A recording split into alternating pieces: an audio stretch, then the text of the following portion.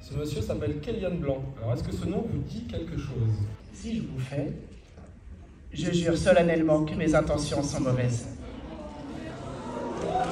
Et ouais Je suis Kellyanne Blanc et je suis la voix française d'Harry Potter.